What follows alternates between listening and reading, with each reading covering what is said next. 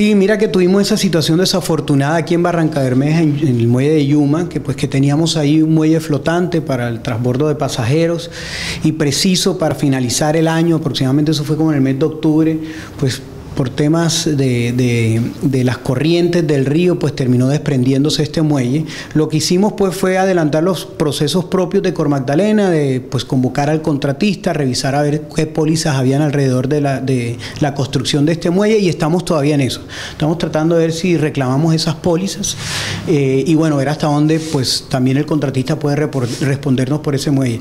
Pero como no podemos dejar pues desamparado el muelle, sí lo tenemos, teníamos dos muelles en Monpós y uno de esos eh, hemos autorizado para que lo trasladen acá a Barranca Bermeja para poder prestar ese servicio desde, este, desde ese nuevo muelle flotante. ¿En qué tiempo lo tendremos?